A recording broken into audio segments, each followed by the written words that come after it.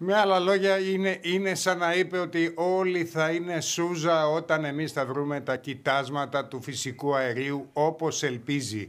Κακά τα ψέματα. Είναι δηλώσεις που ο Ερντογάν κάνει συνήθως για εσωτερική κατανάλωση. Μιλούσε στη Ριζούντα.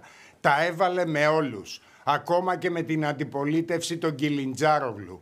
Τα έβαλε με την Ευρωπαϊκή Ένωση που την κατηγόρησε επειδή τάχθηκε με το μέρος των Ελληνοκυπρίων Λες και η Ευρωπαϊκή Ένωση θα μπορούσε να κάνει κάτι άλλο.